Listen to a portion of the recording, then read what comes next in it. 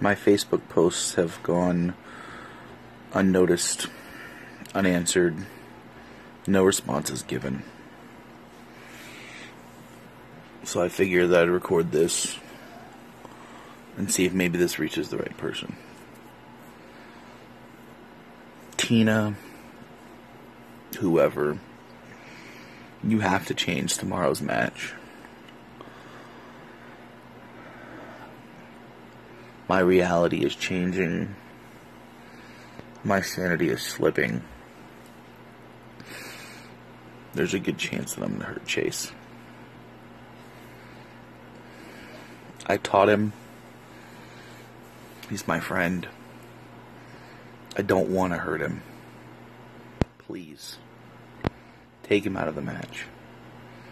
I don't care who you put in it, just somebody who can take a beating. Vinnie Maverick. Danny Doyle. The bouncer, I don't care. I don't want to be responsible for ending his career.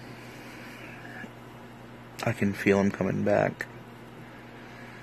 You don't want that. Chase doesn't want that. But if it does happen, you don't want him to be the one in the ring. Please change the match.